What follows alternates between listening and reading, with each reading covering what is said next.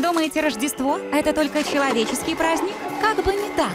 Рождество любят абсолютно все. И у каждого жителя в любом из миров даже есть своя версия Санты. Да-да, вы не ослышались. У русалок тоже есть свой праздничный герой. Правда, в отличие от нашего милого толстяка, подводная Санта весьма обворожительная русалка. Только это Рождество запомнится ей надолго. Ведь один из подарков впервые за сотню лет вернули обратно на фабрику. Каким-то образом в праздничной коробке оказался Джим. Неудивительно, почему от него отказались, ведь он был человеком. Как он туда попал, неизвестно. Но подводная Санта была добра сердцем и не могла бросить парня совсем одного, как бы ни был против ее краб-отшельник. Она приняла решение усыновить парнишку. Джим не мог поверить своим глазам. Подводное Рождество выглядело просто потрясающе. У них даже подводная елка имелась. Руби очень хотелось, чтобы это Рождество прошло для Джима так, как никогда прежде. Вот только парень был совсем не рад. В письме Санте он написал, что хочет отменить Рождество. Многие годы этот праздник ассоциировался у Джима только с плохими эмоциями. Такое желание разбило сердце помощнику Санты, но Руби не собиралась исполнять это желание. Ей очень хотелось доказать Джиму, что Рождество может быть настоящей сказкой. Нужно лишь немного терпения. Чтобы Джим лучше понял дух Рождества, ему стоило попробовать себя в роли работника фабрики. Ведь в течение всего года Санта и ее помощники наблюдают за детьми и готовят для них особые подарки. Хотя, пожалуй, больший сюрприз в этом году получил Медуза Ник и русалка Кэсси. Да, из-за Джима возникла некоторая путаница. Джиму очень хотелось настоящего Рождества, но он продолжал старательно делать вид, что он уже слишком взрослый и что ему нет дела до этого детского праздника. Правда, за детским праздником лежала не детская работа. Мешки с подарками, знаете ли, весьма тяжелые, и без волшебства эта работа была бы попросту невозможной. А еще она была бы невозможной без верных помощников, так как мисс Санта следила за своей фигурой, печеньем и молоком, которые оставляли дети, с большим удовольствием занимались именно они.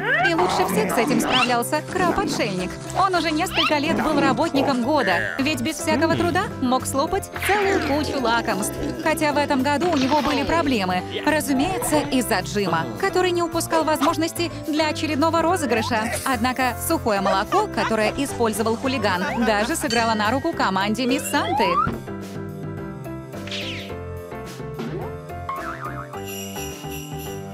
Да-да, след от него лишь сильнее укрепил веру подводных жителей в их существование. А чем больше была вера жителей, тем больше магии могли использовать Санта и ее работники. Уж кого-кого от Джима сложно было назвать хорошим мальчиком. Он всеми силами отрицал дух Рождества. Все, чего ему хотелось, так это портить настроение окружающим. Например, закидав всех снежками. Вот только то, что он принял за снег, на самом деле было рыбьим кормом. Да-да, эти хлопья сигнализировали о том, что на морском дне пришло время обеда. И Джиму придется еще многое узнать о том необычном мире, в котором он оказался. А еще, кажется, он понравился крабу. Мисс Санта решила показать Джиму одну морскую забаву. Под водой в канун Рождества все дети играют в кальмара. И нет, это не та игра в кальмара, о которой все говорят в последнее время. Никаких безумных конкурсов и красных костюмов. Под водой игра в кальмара – это милое развлечение, где участникам нужно прикрепить к кальмару щупальца. И делать это надо с закрытыми глазами. Ага, это может показаться куда сложнее, чем на первый взгляд. Но зато это весело. Даже краб улыбается. Нелюбовь Джима к Рождеству очень тревожила мисс Санту. Ей было непонятно, почему кто-то может так сильно не любить этот праздник. Но, зайдя на страничку Шалуна, она очень быстро поняла, в чем дело. Джим всегда был одинок, и у него не было настоящего Рождества. Более того, кажется, он уже и не хотел праздновать. С этим срочно нужно было что-то делать. Чем ближе было Рождество, тем более мрачным становился проказник. Мисс Санта была уверена, что еще не поздно изменить его мнение о празднике. Ему просто нужно побольше о нем узнать. Например, прокатиться с ветерком на санях.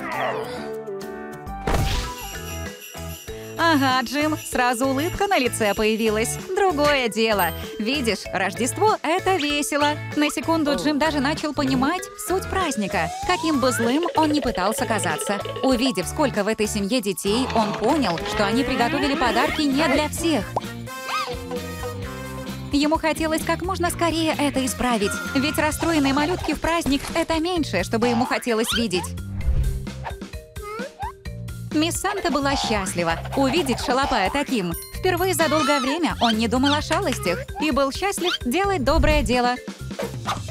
Однако времени было мало. Пока Джим барахтался в мешке, их чуть было не рассекретила маленькая рыбка, что проснулась от шума. Хорошо, что мисс Санта была русалкой и с легкостью могла заворожить своей песней случайных свидетелей чтобы сохранить тайну своего существования. Ведь иногда сказка должна оставаться сказкой.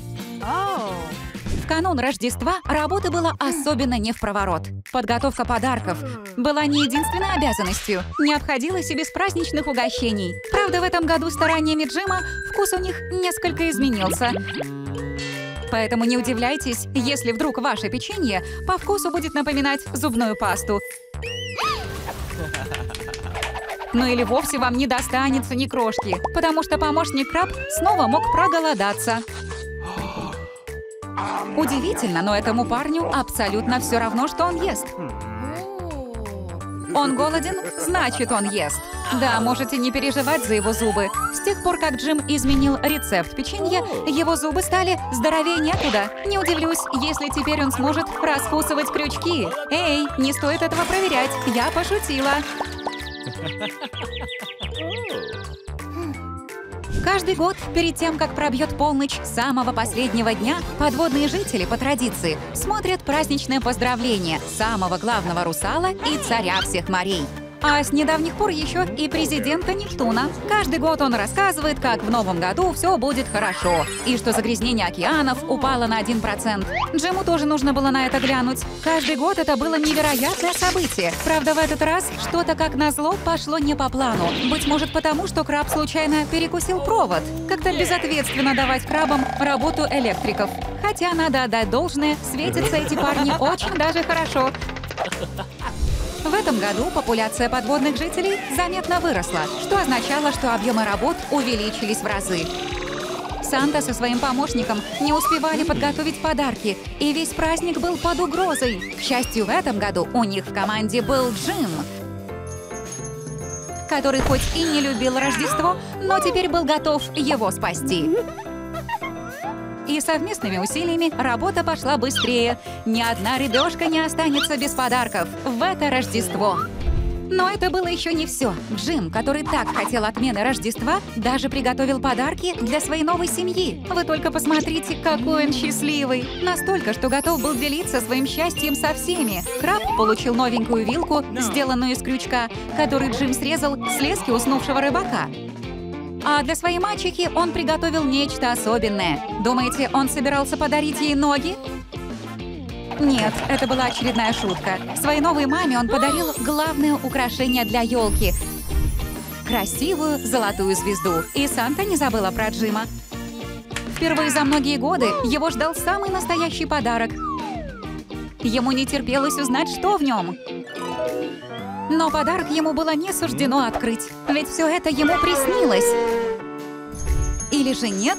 Что за тайное послание? Неужели это был вовсе не сон, и это Рождество он проведет не один? Ми давно нравился Джим, но эта блондинка была не единственной, кому он нравился. Тихо издалека за красавцем Джимом наблюдала еще одна пара глаз. Бац! И вот она уже вырезает для него печенье с помощью законов физики и своих очков. В надежде, что сердечко из печенья поможет ему обратить на нее внимание. Она была готова на все ради него.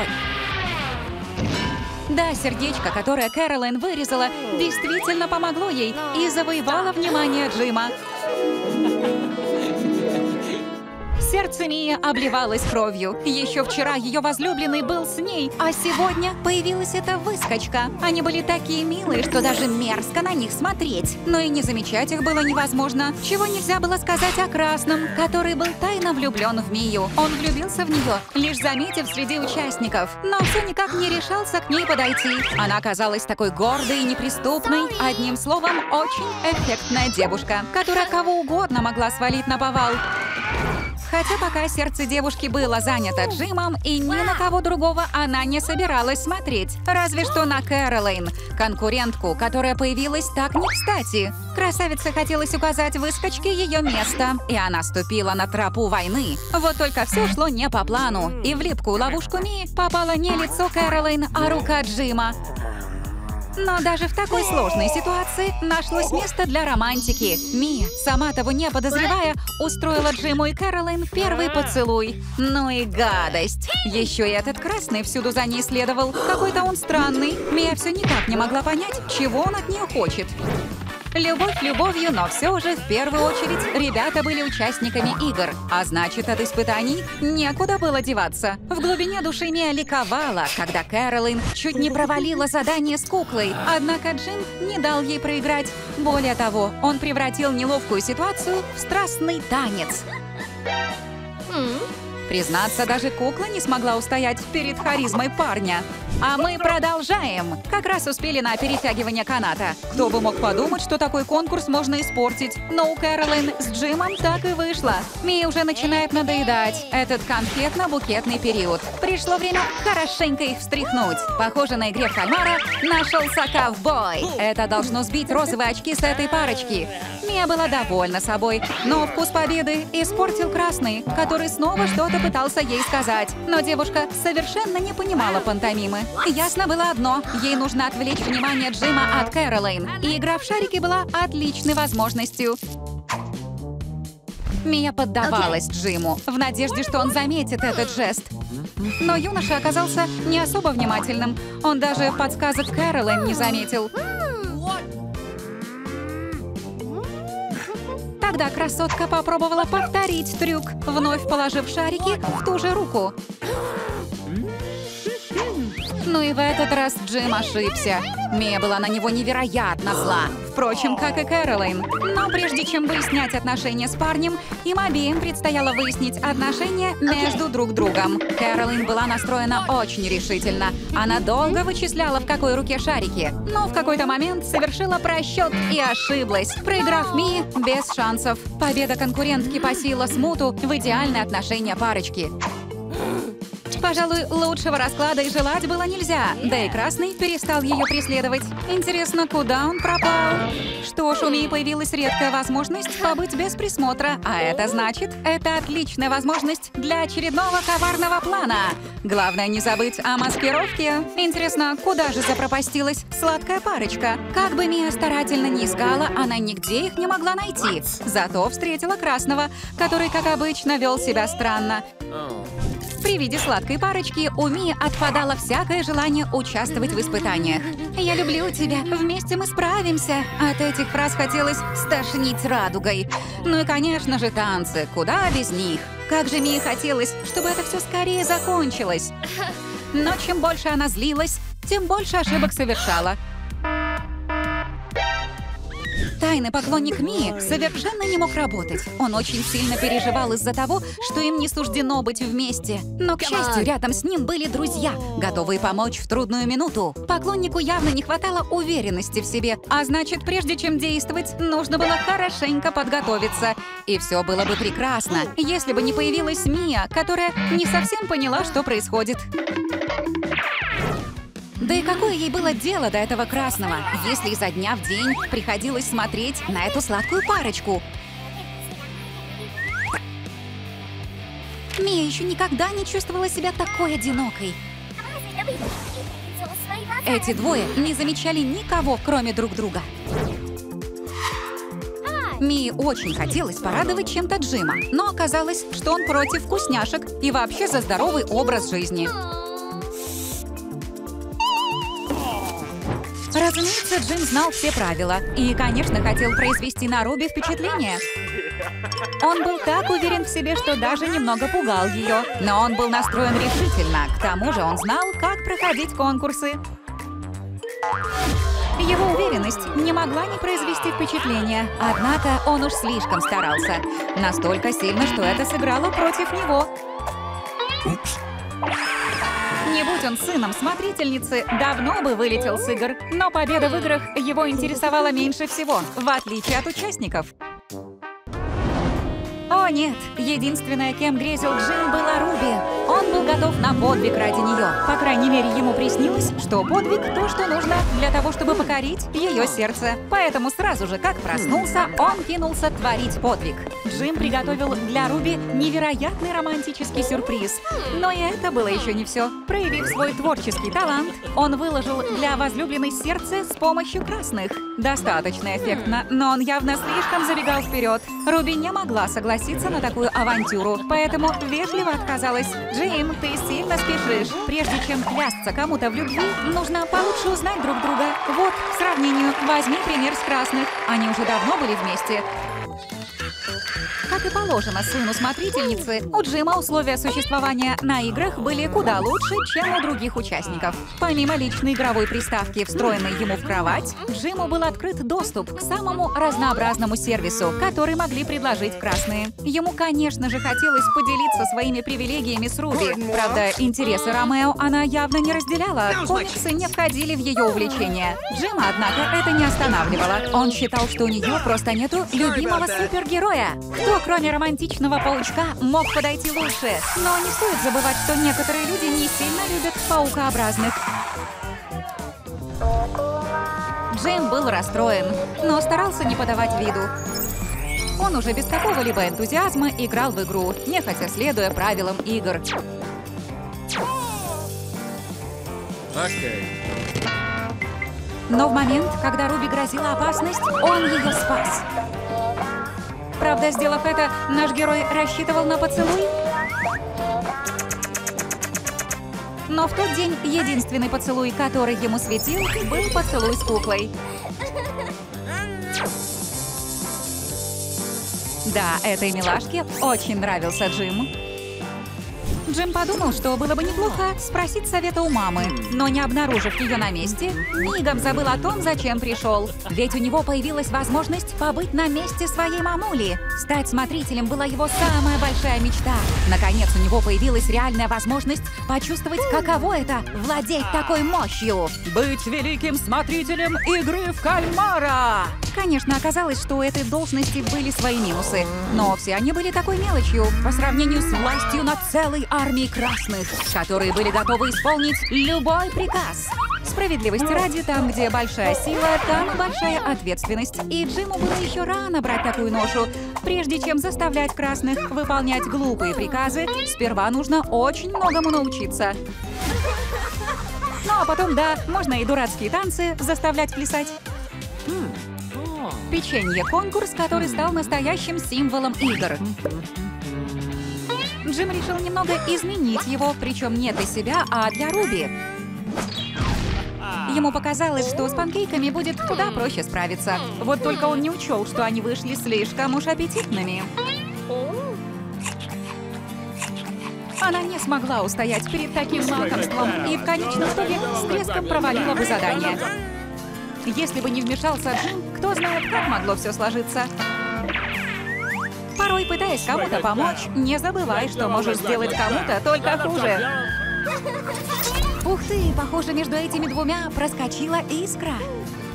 Наш герой сделал первый шаг к сердцу Руби, и ему не хотелось на этом останавливаться. Уже на следующем конкурсе он готовился признаться возлюбленной в своих чувствах. План был прост. Руби не угадывает и видит сердечко. Вот только у нее прекрасно получалось отгадывать. Настолько хорошо, что когда Джим не прятал шарики, героиня их все равно находила. Все шло не так, как планировал Ромео. Совсем не так. Казалось, что судьба сегодня отвернулась от него. Неудачи не пугали Джима. Даже наоборот, скорее мотивировали его к действию. Правда, действия он предпринимал весьма странные. Они скорее пугали Руби, нежели помогали полюбить нашего героя. Парни ведут себя так странно, когда влюблены. Джим, тебе стоит немного успокоиться. Потому что ты явно делаешь что-то не так. Настойчивость Ромео вызывала у Руби только одно желание – бежать! Конечно, он был не самым странным на играх, но его навязчивость реально пугала Руби. Даже в вентиляции он не давал ей покоя. Но самое странное было не то, что он везде ходил за ней по пятам, а то, как он появлялся, будто бы из воздуха. Руби могла поклясться, что еще минуту назад она была одна в вентиляции. Хорошо, что романтический ужин, который Джим притащил с собой, оказался для него преградой. Предсказуемо к финалу дошли Джим и Руби. Не стоит волноваться за других игроков. Им всего лишь не достался праздничный ужин, который, надо признать, мог бы стать романтическим. Не появись на нем мама Джима. Которая проявляла по отношению к сыну слишком много заботы. Она так гордилась, что он дошел до финала. Правда, нашего Ромео это ставило в очень неловкое положение. Он долго терпел, но в итоге сорвался и, сам того не желая, начал настоящий бой. Впервые за все время Джин и Руби по-настоящему веселились вместе. Кто бы мог подумать, что швыряться едой может быть так весело.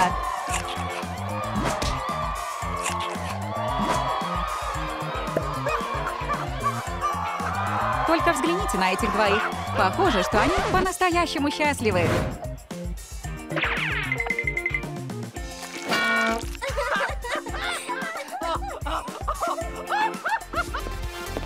Но времени у них оставалось очень мало.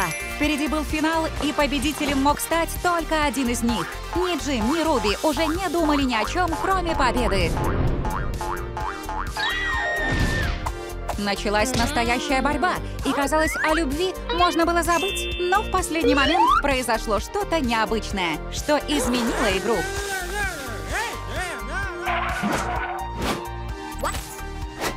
Быть злодеем весело, ну а суперзлодеем весело вдвойне. Кто, как не настоящий суперзлодей, сможет заставить супергероев проходить разные испытания? Например, посмотреть, кто круче, Спайдербой или Кэтгерл. Я вот, например, всегда ставлю на Спайдербоя, потому что этот парень весьма смышленый, совсем как я. Однако, в отличие от меня, он не такой внимательный, ведь тогда заметил бы, как Кэтгерл ворует его шарики. Когда играешь с лучшей в мире воровкой, не стоит забывать о бдительности. Бай! Я всегда мечтала о фото со Спайдербоем. Да, когда я был моложе, я был его фанатом. Но теперь я стал суперзлодеем, и мне нужно думать о репутации. Думаю, фото, где я побеждаю паучка, благоприятно повлияет на мою карьеру. Но вот вам совет на будущее. Если хотите, чтобы что-то было хорошо, не доверяйте дело красным. Скорее всего, они все испортят. Вот бы раздобыть того репортера, который фоткает паучка. Спросите, в чем секрет моей успешности? Что ж, я лично занимаюсь обучением сотрудников. Например, развиваю их внимательность. Вот вы заметили, в каком стакане паучок? Напишите в комментариях. Да, лучше не спрашивайте, как я его уменьшил. Папе лучше не знать, что я брал его уменьшающий луч. Супергерои всегда стараются помогать людям. Это мне в них нравится. К примеру, однажды Спайдербой решил помочь одному из красных с его неразделенной любовью. По плану паучка его коронного приема было бы достаточно. Ох уж это романтическое свидание на паутине. Но помогать людям скучно. Хорошо, что я пригласил на игры Ред Пула. Этот парень знает толк в розыгрышах и может разбавить любую ситуацию. Ну и дать ответ на вопрос, боятся ли пауки щекотки. Не волнуйтесь, у парочки красных все хорошо. Некоторые состязания для супергероев были проще простого. Спайдер-бою с его хваленым чутьем не составило труда пройти пол с ловушками. Впрочем, Супербою даже усложнение задачи не помешало. Ведь он умел летать.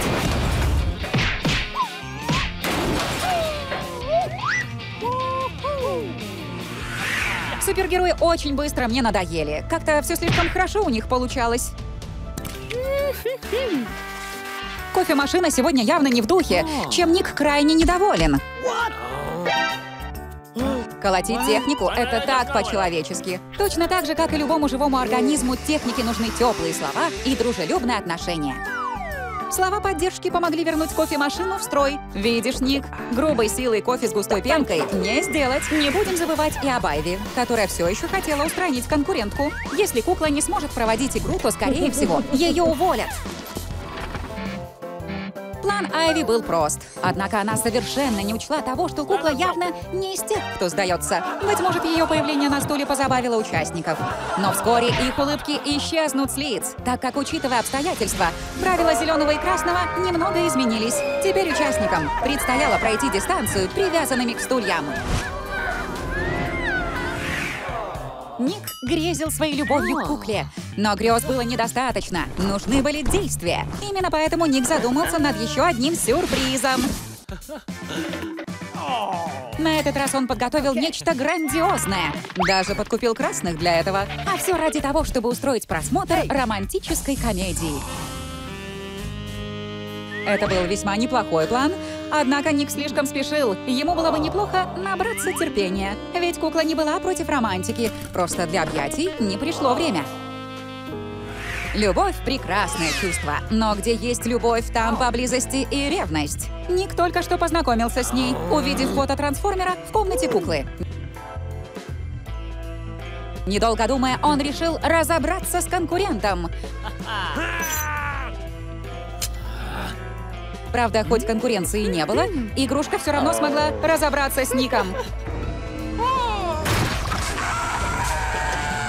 Да, Ник, ты меня позабавил. Для того, чтобы проводить время вместе, нужно иметь достаточно энергии.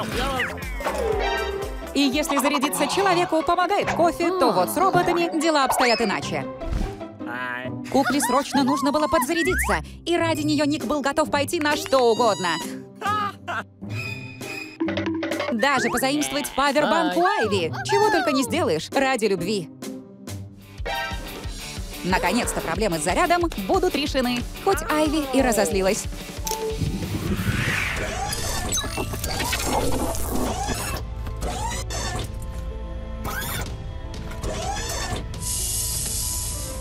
Пришлось мне заменить участников. Как оказалось, за обычными людьми смотреть куда интереснее. Особенно, когда среди участников только одна девушка. О, она стала для парней настоящим испытанием. Очень сложно сосредоточиться на играх, когда не можешь отвести взгляда от Айви. Правда, теперь придется создать скульптуру охранника. Даже когда парни не были в компании очаровательной участницы, они всячески строили козни друг другу. Гляньте только на этих двоих. Один из моих любимых пранков. Привязать шнурки качка к красному, а потом разбудить его. Вот это умора! Кевин был таким огромным, что даже не заметил, как протащил за собой красного целый день. Впрочем, Айви пользовалась популярностью не только у участников. Красные то и дело приставали к ней со всякими глупыми просьбами, вроде зашить костюм или приготовить ужин.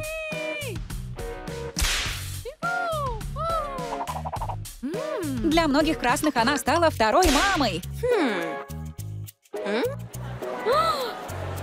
Они ее просто обожали. Ей можно было только позавидовать, ведь все хотели добиться ее внимания. Это игроки могут позволить себе терять голову, а смотритель должен быть внимателен. Я заметил, что парни перепутали букеты. А вы заметили? Давайте посмотрим в комментариях, кто такой же внимательный, как и я. Знаете, кто забавлял меня больше всего? Вот этот парень, Том. Он был очень умным, но при этом невероятно рассеянным. Он создал сыворотку любви, но вот скрытность была не его коньком. Возможно, его план бы сработал, придумай он сыворотку невидимости. Однако ее придумал я! Только что! Вот почему я смотритель. Ну а Том... Да, то свидание он запомнит надолго. Айви тогда ему подыграла, Том даже надеялся на поцелуй, и он его получил. Правда, вместо Айви целовать пришлось скелет крысы. А вот любовная сыворотка сработала на одного из красных. А? Говорят, он вместе с любимым папиным цветком сбежали в тот же день с игр. И вроде как счастливо живут на побережье. Когда на играх сломалось отопление, участники всеми силами пытались согреть Айви. Том хотел развести костер. Это было круто. Я же говорю, этот парень гений. Жаль, только тепла от костра было недостаточно, чтобы согреть Айви. Кевин же решил пойти гораздо дальше. Этот парень был не слишком умен. А когда ты глуповат, для тебя нет ничего невозможного. Кевин притянул солнце поближе к земле, совершенно не думая о последствиях. Айви было очень жарко. Впрочем, как и всем, ведь климат сильно изменился. Но после этого случая мне пришлось их выгнать с игр. Возвращать солнце на место влетело в копеечку.